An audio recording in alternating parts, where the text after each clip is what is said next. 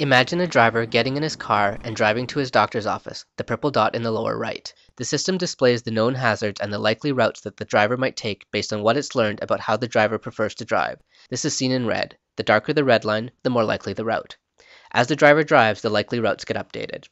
For example, as a driver travels through the road network to a familiar area, the system can predict which unanticipated road hazards the driver is likely to encounter well in advance and warn the driver about the relevant ones. It asks the driver if he wants to route around this hazard. Yes. And the system starts planning a new route. From the driver's perspective, this is almost instantaneous.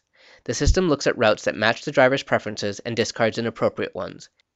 It recommends a route that bypasses these accident areas and also matches the driver's preferences by avoiding the interstate and areas that have historically been accident prone.